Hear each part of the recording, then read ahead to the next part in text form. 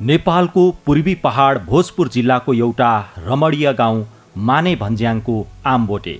यसै गाउँमा विक्रम सम्बत दुई हजार अठार साल असार पाँच गते बुबा रामबहादुर पाण्डे र आमा मिथिला पाण्डेकी सुपुत्रीका रूपमा विद्यादेवी भण्डारीको जन्म भयो।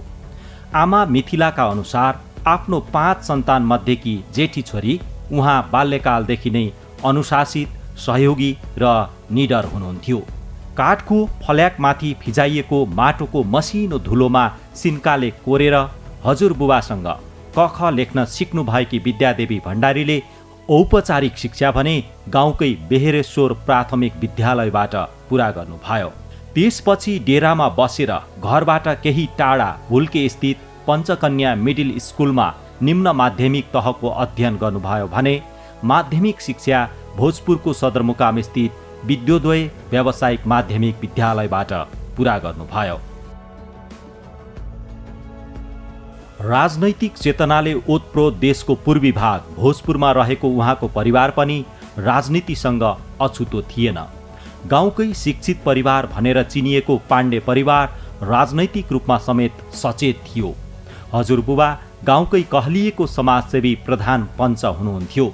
विद्यादेवी भण्डारी पनि कक्षा आठमा अध्ययन गर्दा गर्दै कम्युनिस्ट राजनीतितर्फ आकर्षित हुनुभयो र पार्टी नेतृत्वको सम्पर्कमा पुग्नुभयो। एसएलसी दिने बेलासम्म त उहाँ सक्रिय राजनीतिमा सहभागी भइसक्नु भएको थियो। उहाँले विक्रम सम्बत दुई हजार छत्तिस सैँतिस सालमा भोजपुर बहुमुखी क्याम्पसबाट प्रवीणता प्रमाणपत्र तह उत्तीर्ण गर्नुभयो। त्यति बेला उहाँ प्रवीणता प्रमाणपत्र तह उत्तीर्ण गर्ने गाउँकै प्रथम महिला हुनुहुन्थ्यो। त्यसपछि स्नातक तह अध्ययनका लागि उहाँ विराटनगर स्थित महेन्द्र मोरङ आदर्श बहुमुखी क्याम्पसमा भर्ना हुनुभयो। विद्युदय व्यावसायिक माध्यमिक विद्यालयमा अध्ययन गर्दा नै अखिल नेपाल राष्ट्रिय स्वतन्त्र विद्यार्थी युनियन अनेरा सब्युमा आबद्ध हुनुभएकी विद्यादेवी भण्डारीले भोजपुर क्याम्पसमा अध्ययनरत रहँदा अनेरा सबियोको पूर्वाञ्चल क्षेत्रीय कमिटीको सदस्यका रूपमा विद्यार्थी आन्दोलनको नेतृत्व गर्नुभएको थियो। भोजपुरबाट विराटनगर झरेपछि उहाँले महेन्द्र मोरङ क्याम्पसमा राजनीतिक क्रियाकलापलाई अझै सशक्त रूपमा अगाडि बढाउनु भयो विक्रम सम्बत दुई हजार चालिस सालमा सम्पन्न स्वतन्त्र विद्यार्थी युनियनको चुनावमा उहाँ कोषाध्यक्ष पदमा निर्वाचित भए पश्चात विद्यार्थी नेताका रूपमा अझ बढी सशक्त भूमिका खेल्नुभयो। विद्यादेवी भण्डारी विद्यार्थी राजनीतिमा सक्रिय रहँदा रहँदै भूमिगत रूपमा कम्युनिस्ट राजनीतिसँग समेत जोडिन पुग्नु भएको थियो। दुई हजार पैँतिस सालमा नेपाल कम्युनिस्ट पार्टी मालेको स्थापनासँगै त्यस पार्टीको युथ लिगमा आबद्ध भई उहाँ भूमिगत रूपमै सक्रिय हुनुभयो। विद्यार्थी र पार्टी राजनीतिसँगै विद्यादेवी भण्डारी महिला मुक्ति आन्दोलनमा समेत सक्रिय हुन थाल्नुभयो। दुई हजार सैँतिस सालमा तत्कालीन नेकपा मालेसँग आबद्ध महिला सङ्घ अनेमा सङ्घको सदस्य बन्नुभयो। अनेमा सङ्घको सदस्य भएपछि महिला अधिकारका मुद्दाहरूलाई समेत उहाँले निकै महत्त्वका साथ उठाउन थाल्नुभयो। पार्टी कामकै सिलसिलामा विक्रम सम्बत दुई हजार पैँतिस सालमा उहाँको भेट जननेता मदन भण्डारीसँग भयो। उहाँको विवाह विक्रम सम्बत दुई हजार उन्चालिस सालमा पार्टीको स्वीकृतिमा पार्टीकै नेता मदन भण्डारीसँग जनवादी शैलीमा सम्पन्न भयो। प्रगतिशील विचारधारा बोकेरै अगाडि बढ्ने दृढ सङ्कल्पका साथ उहाँले गृहस्थी जीवनको सुरुवात गर्नुभयो। त्यति बेला तानाशाही निर्दलीय पञ्चायती व्यवस्थाले दलहरूमाथि लगाएको कडा प्रतिबन्ध र पञ्चायती व्यवस्थाका विरुद्ध उभिने नेता कार्यकर्ताहरूमाथि चरम दमन र धरपकडको परिस्थिति थियो। त्यस अवस्थामा नेपाल कम्युनिस्ट पार्टी माले पञ्चायती व्यवस्था विरुद्ध जनआन्दोलन र जनसङ्गठन निर्माणको कामलाई प्राथमिकता दिने कार्यनीति अवलम्बन गरेको थियो। तसर्थ जनतालाई पार्टी र जनसङ्गठनहरूमा आबद्ध गर्नका लागि त्यस ताका युवा नेता मदन भण्डारी भूमिगत जीवन बिताइरहनु भएको थियो। जसको कारण विवाह पश्चात उहाँहरूको वैवाहिक जीवन झनै चुनौतीपूर्ण र कठिन बनेको थियो। यस्तै पारिवारिक उतार चढाव र राजनैतिक यात्राकै क्रममा उहाँहरूका दुई छोरीहरू उषा किरण र निशा कुसुमको जन्म भयो। कागका छोरीहरूलाई च्याप्दै र आश्रयस्थलहरूमा राख्दै उहाँ प्रहरी र प्रशासनको आँखा छलेर पार्टीको काम र सङ्गठन विस्तारमा सक्रिय भइ नै रहनुभयो। छोरीलाई कोक्रोमा बोकेर दिउँसो विद्यालय पढाउन जाने र राति पार्टीको काममा हिँड्ने साहस बटुली मोरङको नक्सलबारी स्थित जनता माध्यमिक विद्यालयमा दुई हजार त्रिचालिस सालदेखि दुई हजार छयालिस सालसम्म उहाँ शिक्षण पेसामा आबद्ध रहनुभयो। त्यति बेला शिक्षण पेसा उहाँका लागि जीविकोपार्जनको उपाय भन्दा पनि निरङ्कुश पञ्चायती व्यवस्थाको आँखामा छारो हाल्ने माध्यम बनेको थियो। देखावटी रूपमा शिक्षण पेसामा आबद्ध रहे तापनि उहाँको अन्तर्निहित उद्देश्य भने पार्टी सङ्गठन विस्तार नै रहेको थियो। वनभोज वा अन्य विभिन्न बहानामा गाउँका महिला दिदीबहिनीहरूलाई भेला गरेर महिला जागरण र हकितका बारेमा सुसूचित गराउँदै निरङ्कुश पञ्चायती व्यवस्थाका विरुद्धमा सङ्गठित गर्ने काम गरिरहनुभयो। गाउँले महिला दिदीबहिनीहरूको हरेक सुख दुःखमा विद्यामिस सदैव अग्रपङ्क्तिमा उभिनुभयो। निर्दलीय तानाशाही पञ्चायती व्यवस्थाको क्रूर दमन र अत्याचारले नेपाली जनता आक्रान्त भइसकेका थिए। विश्व परिवेश र राजनैतिक जागरणसँगै नेपालमा पनि पञ्चायती व्यवस्थाका विरुद्ध भित्रभित्रै आवाजहरू उठ्न थालिसकेका थिए। जनताका विद्रोही भावनाहरूलाई समेटेर राजनैतिक परिवर्तन ल्याउन सशक्त भूमिका खेल्नुपर्ने नैतिक दबाव दलहरूमाथि पर्न थाल्यो। जसको फलस्वरूप विभिन्न खेमामा विभक्त छवटा कम्युनिस्ट पार्टीहरू मिलेर बनेको संयुक्त वाम मोर्चा र नेपाली काङ्ग्रेस सहितको संयुक्त जनआन्दोलन परिचालन कमिटी गठन गरी दुई हजार छयालिस साल फागुन सात गतेदेखि पञ्चायती व्यवस्था विरुद्ध निर्णायक आन्दोलनको घोषणा गरियो। विशाल जनसहभागिता र जनउभारलाई थेग्न नसकेर तत्कालीन राजा वीरेन्द्रले छब्बिस चैत्र दुई हजार छ्यालिसमा दलहरूमाथिको प्रतिबन्ध फुकुवा गरी प्रजातन्त्र पुनस्थापनाको घोषणा गरे। निरङ्कुश पञ्चायती व्यवस्था फाल्ने उक्त ऐतिहासिक जनआन्दोलनमा विद्यादेवी भण्डारीले आफ्नो मोर्चाबाट सशक्त रूपमा अग्रपङ्क्तिमा उभिएर नेतृत्व प्रदान गर्नुभयो। प्रजातन्त्रको पुनर्स्थापनापछि दुई हजार छ्यालिस सालमा किर्तिपुरमा भएको अखिल नेपाल महिला सङ्घको पहिलो राष्ट्रिय सम्मेलनमा उहाँ मोरङबाट प्रतिनिधि बन्नुभयो भने दुई हजार पचासदेखि दुई हजार चौवन्न सालसम्म नेपाल ट्रेड युनियन महासङ्घ जिफन्डको राष्ट्रिय कमिटी सदस्य तथा महिला विभाग प्रमुखका रूपमा समेत कार्य गर्नुभयो। इतिहास र समय एक अर्काका साक्षी हुन्। यस्तै एक दुःखद इतिहासको साक्षी विक्रम सम्बत दुई हजार पचास साल जेठ तिन गतेको दिन बन्न पुग्यो। पार्टी सङ्गठनको कामको सिलसिलामा पोखराबाट चितवन जाँदै गर्दा चितवनको दासढुङ्गा भन्ने ठाउँमा तत्कालीन नेपाल कम्युनिस्ट पार्टी एमालेका महासचिव मदन भण्डारी सवार रहेको गाडी दुर्घटना भई त्रिशुली नदीमा खस्यो। सो त्रासदीपूर्ण घटनामा उहाँका सहयोगता सोही पार्टीको सङ्गठन विभाग प्रमुख जीवराज आश्रित पनि साथै हुनुहुन्थ्यो। उक्त दुर्घटनामा जनताका प्रिय दुवै नेताहरूलाई देशले एकैसाथ गुमायो। मदन भण्डारी त्यति बेला प्रतिनिधि सभाको सदस्य हुनुहुन्थ्यो। उहाँ अन्तरिम सरकारका प्रधानमन्त्री कृष्णप्रसाद भट्टराईलाई पराजित गरेर काठमाडौँ क्षेत्र नम्बर एक र पाँचबाट निर्वाचित हुनुभएको थियो। उहाँ समकालीन राजनीतिका अत्यन्त चर्चित नेता कम्युनिस्ट दर्शनका ज्ञाता कुशल वक्ता र नेकपा एमालेको मार्गदर्शक सिद्धान्त जनताको बहुदलीय जनवाद जबजका प्रणेता र व्याख्याता हुनुहुन्थ्यो। विक्रम सम्बत दुई हजार पचास साल जेठ तिन गतेको दासढुङ्गा घटना पश्चात नेपालको राजनीतिमा विद्यादेवी भण्डारीको नयाँ ढङ्गले अवतरण हुन पुग्यो। यो दुःखदायी घटना नै उहाँको जीवनको नयाँ यात्राको थालनी बन्न पुग्यो। सात र पाँच वर्षका कलिला अबोध छोरीहरूका लागि आमाको मात्र नभई बुबाको कर्तव्य र जिम्मेवारी समेत अब उहाँमाथि नै थपियो। मदन भण्डारीको निधन पश्चात दुई हजार पचास साल माघमा भएको उपनिर्वाचनमा जननेता मदन भण्डारीले आफ्नो संसदीय निर्वाचनको विजय यात्रा सुरु गर्नु भएको काठमाडौँ क्षेत्र नम्बर एकमा उहाँकै जीवन सङ्गिनी विद्यादेवी भण्डारीलाई उम्मेद्वार बनाउने निर्णय पार्टीले लियो। आफू प्रत्यक्ष राजनीतिमा लाग्दा छोरीहरूमाथि आमाको नाताले गर्नुपर्ने लालन पालन र रेखदेखमा कहीँ कतै कमी पो हुन्छ कि भन्ने चिन्ताले उहाँलाई सताएको थियो। तर पार्टीको इमान्दार कार्यकर्ता विद्यादेवी भण्डारीलाई आफ्ना दुई छोरीहरूको भन्दा पनि देशका सम्पूर्ण छोराछोरीहरूको भविष्य निर्माणको हुटुटीले सतायो।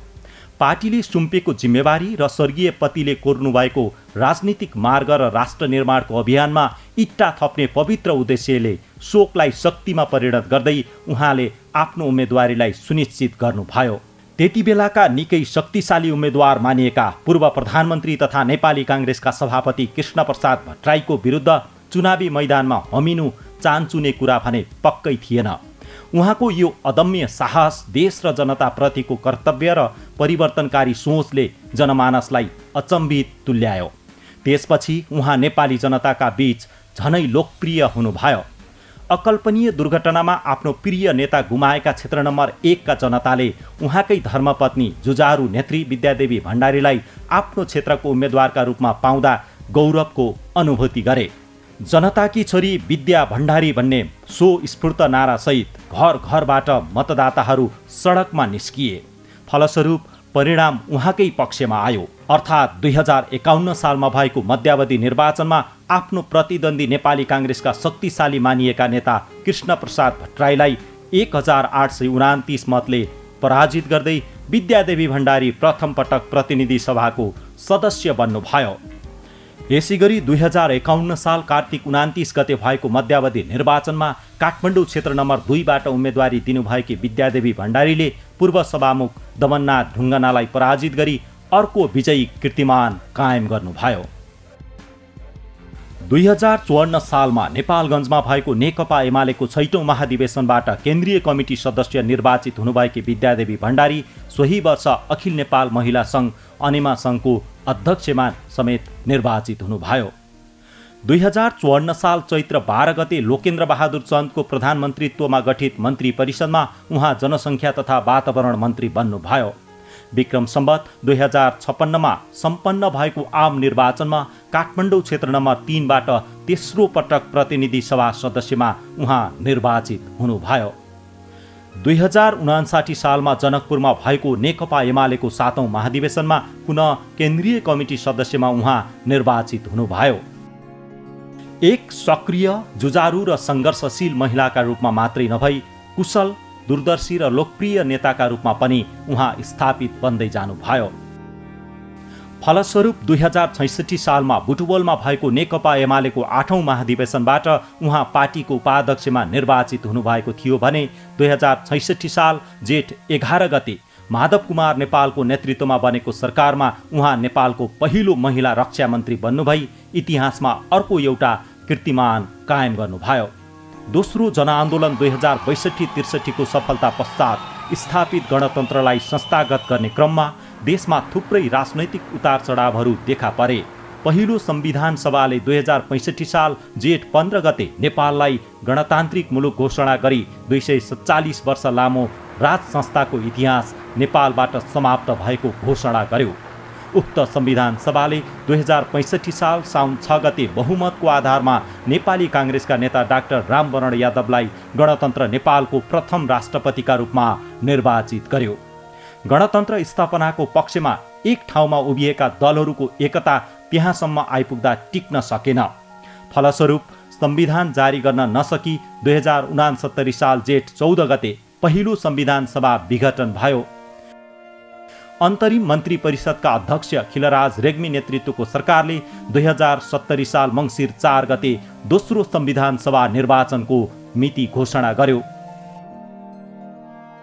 दोस्रो संविधान सभामा विद्यादेवी भण्डारी समानुपातिक तर्फबाट सभासद चुनिनुभयो संविधान निर्माणताका संविधान सभामा उहाँले अग्रणी भूमिका खेल्नुभयो।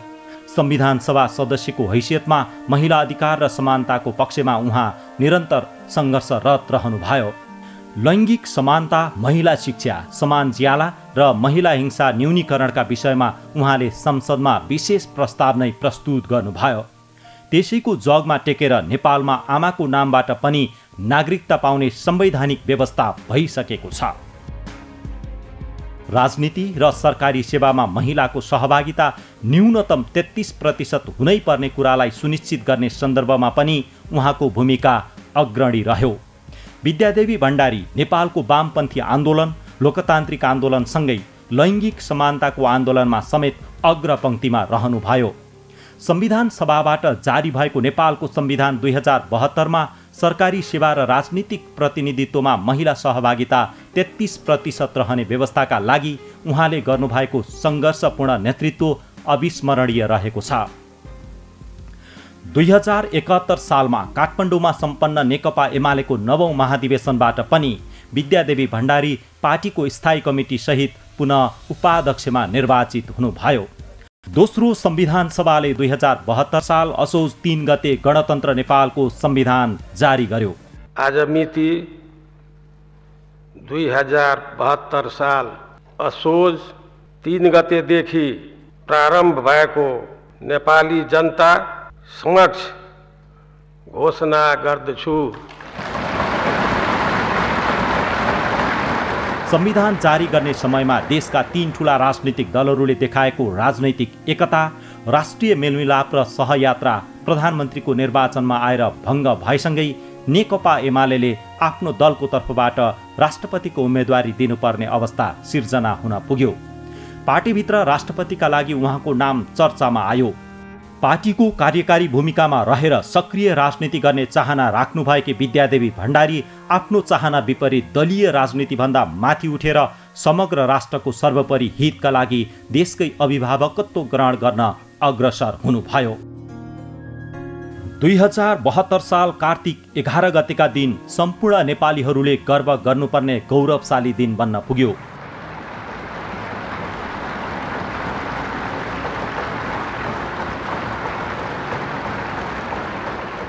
राष्ट्रपति निर्वाचनमा व्यवस्थापिका संसदमा खसेको कुल पाँच सय उन्चास मतमध्ये नेपाली काङ्ग्रेसका उम्मेद्वार कुलबहादुर गुरुङलाई दुई सय चौध मतका विरुद्ध तिन सय सत्ताइस मतले पराजित गर्दै व्यवस्थापिका संसदको अन्तरिम कार्यविधि दुई हजार बहत्तरको दफा सैतिसको उपदफा एक बमोजिम विद्यादेवी भण्डारी सङ्घीय लोकतान्त्रिक गणतन्त्र नेपालको पहिलो महिला राष्ट्रपतिका रूपमा इतिहास रच्न सफल हुनुभयो। नेपालको राजकीय सत्ता र सार्वभौम सत्ता सार्वभौम सत्ता नेपाली जनतामा निहित रहेको नेपाली जनतामा निहित रहेको नेपालको संविधानप्रति नेपालको संविधानप्रति पूर्ण वफादार रहँदै पूर्ण वफादार रहँदै राष्ट्रपति पदको राष्ट्रपति पदको कामकाज कामकाज विश्वमा प्रथम महिला राष्ट्रपति पाउने देशको सूचीमा नेपालले आफूलाई सामेल गर्न सफल भयो।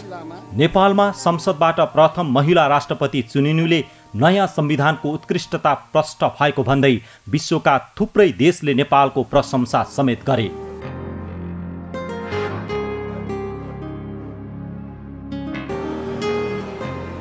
पूर्वी पहाडी जिल्ला भोजपुरको एउटा सामान्य किसान परिवारमा जन्मिनु भएकी विद्यादेवी भण्डारी देशकै सर्वोच्च पदमा आसीन हुनु उहाँको लगन दृढ इच्छाशक्ति र निष्ठाको अविचलित अविरल राजनैतिक यात्राको प्रतिफल थियो। समयले उहाँलाई मुलुकको अभिभावक बनाएको छ। राष्ट्रको एकता भौगोलिक अखण्डता स्वाभिमान र स्वाधीनताको रक्षा गर्ने सर्वोच्च पदमा आसीन गराएको छ। अत्यन्तै सफल र विवादरहित ढङ्गले आफ्नो प्रथम कार्यकाल सफलतापूर्वक सम्पन्न गर्नुभएकी सम्माननीय राष्ट्रपति विद्यादेवी भण्डारीलाई दुई हजार चौहत्तर साल फागुन उनातिस गते भएको राष्ट्रपति निर्वाचनका लागि तत्कालीन नेकपा एमाले र नेकपा माओवादी केन्द्रको गठबन्धनले उम्मेद्वारका रूपमा अगाडि सार्यो सङ्घीय समाजवादी फोरम राष्ट्रिय जनता पार्टी नेपाल राष्ट्रिय जनमोर्चा तथा राष्ट्रिय प्रजातन्त्र पार्टी सहितका दलहरूले उहाँको उम्मेदवारीमा समर्थन जनाए। कुल बाहन्न हजार पाँच सय एक इलेक्टोरल भोटमध्ये राष्ट्रपति विद्यादेवी भण्डारीले उन्चालिस हजार सात सय पच्चिस इलेक्टोरल भोट प्राप्त गर्नुभएको थियो भने उहाँकी प्रतिद्वन्दी नेपाली काङ्ग्रेसकी कुमारी लक्ष्मी राईले एघार हजार सात सय तिस इलेक्टोरल भोट प्राप्त गर्नुभएको थियो। यसरी खसेको कुल मतको करिब तीन चौथाइ मत प्राप्त गरी सम्माननीय राष्ट्रपति विद्यादेवी भण्डारी सङ्घीय लोकतान्त्रिक गणतन्त्र नेपालको राष्ट्रपतिका रूपमा आफ्नो दोस्रो कार्यकालका लागि पुनः निर्वाचित हुनुभयो। नेपालको सर्वोच्च पदमा संसदबाट निर्वाचित हुने उहाँ पहिलो नेपाली महिला हुनुहुन्छ। निरन्तरको सङ्घर्ष त्याग र निष्ठापूर्ण समर्पण नै राजनीतिमा सफलताको आधार हो भन्ने उदाहरणलाई सम्माननीय राष्ट्रपति विद्यादेवी भण्डारीले स्थापित गर्नुभएको छ। उहाँका यी सङ्घर्षपूर्ण एवं प्रेरणादायी जीवनका आयामहरू नेपाली महिलाहरूको मात्र नभई विश्वका सम्पूर्ण महिलाहरूको प्रेरणाको स्रोत बनेका छन्। इतिहास र राजनीतिक अध्येताहरूका लागि उहाँको सक्रिय जीवन एक खुल्ला विश्वविद्यालय मान्न सकिन्छ। सम्माननीय राष्ट्रपति विद्यादेवी भण्डारीको जीवन हामी सबै नेपालीको निम्ति प्रेरणा र गर्वको विषय बन्न पुगेको छ।